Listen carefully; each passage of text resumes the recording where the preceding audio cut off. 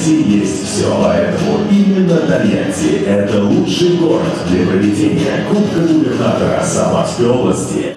2020 год в Самарской области объявлен годом Тольятти, поэтому самое масштабное КВНовское событие года прошло именно там.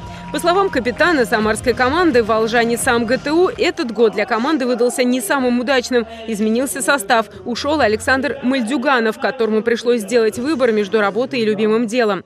Команда пятый год участвует в телевизионных лигах, три года в премьер-лиге, два года в высшей лиге. В этом году играли в одной восьмой, но быстро вылетели. Поэтому многого ждали от участия в Кубке губернатора. Мы э, играем в КВН в первую очередь под патронажем правительства Самарской области. И, разумеется, Самарская область – это наш основной спонсор, как и, ну, как и не надо забывать про наш университет, про наш вуз Самарский государственный технический университет. И, конечно же, на каждом Кубке губернатора наша команда пытается выложиться на полную, чтобы порадовать э, родного самарского зрителя. За победу на Кубке губернатора боролись четыре команды. Триот, Идиот из Смоленска, Нати, команда станицы Брюховецкая, сборная Снежногорска и наши земляки Волжане сам ГТО. По словам участников, после продолжительного перерыва, связанного с пандемией коронавируса, играть хочется с особой самоотдачей. И не важно, что зал заполнен лишь на 40%. Потрясающим, потому что у вас до сих пор еще лето, у вас до сих пор еще все цветет, люди улыбаются, все чисто, все здорово. Ну, то есть, короче, как дома. И самое главное, здесь есть друзья. Ну, во-первых, это грандиозное событие, самое главное событие КВНской осени нашего региона.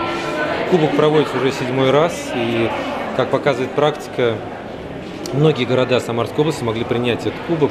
КВН – это здесь и сейчас. Это онлайн, это то, что мы видим на улице, то, что мы видим только что сейчас в автобусе, в троллейбусе, может быть, дома, во дворе. Мы сразу это увидим на сцене. И я думаю, что сегодня на сцене будет такой же драйв, и он передастся в зал. И не важно, что 40% заполняемся зала в связи с ограничениями. Я думаю, что зрители будут смеяться за троих. Для участия в Кубке губернатора традиционно приезжают команды с Первого канала, команды чемпионов высшей лиги, команды любимчики клуба веселых и находчивых. В этом году было сыграно три конкурса, и заветный кубок достался команде «Триот Идиот» из Смоленска. Виктория Шарая. События.